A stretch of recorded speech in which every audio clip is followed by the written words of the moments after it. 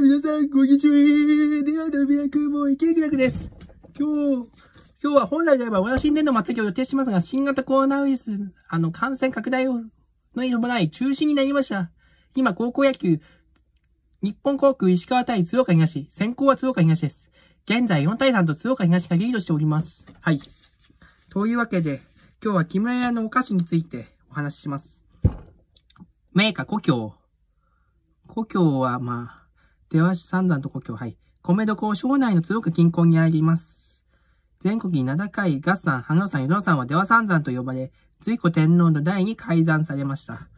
その中で花野山は花野山伏の根拠地として繁栄していきました。山頂の三神号祭殿のすぐ前に池があり、平安、鎌倉、江戸時代中期までの鏡が数多く発掘されたことにより、鏡池と呼ばれております。鏡は数百面のうち190面が重要文化財に指定されています。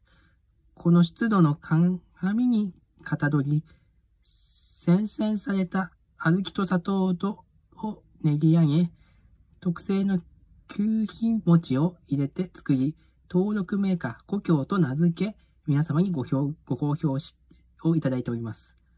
姉妹品の故郷せんべいもございます。どうぞご愛顧くださいませ。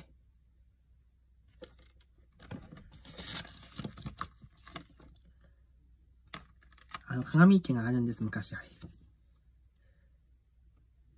故郷の他にも、えー、マロン、あの、風味豊かな白あんと一粒の栗の自家製パイで包んだ伝統のお菓子です。はい。他にもダダチャ豆を使ったお菓子、ダダチャ豆もん、ダダチャ餅とダダチャ豆のフィナンシェがございます。フィナンシェは口の中に広がる濃厚なダダチャ豆の風味とバターの風味、コーヒーや紅茶にもぴったりです。はい。